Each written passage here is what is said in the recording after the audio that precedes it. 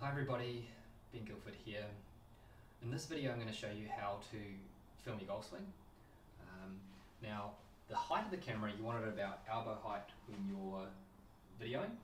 The other thing you want to do is um, make sure that you get the alignment. So I'm going to use this, this uh, tour stick as a reference for us for alignment.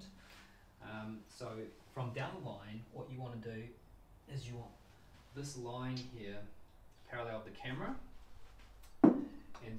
also um, what you want to do is that you want it just behind your hands okay? Just behind your hands there okay? If you're over this way it's not a very good image and if you're over this side it's not a very good image.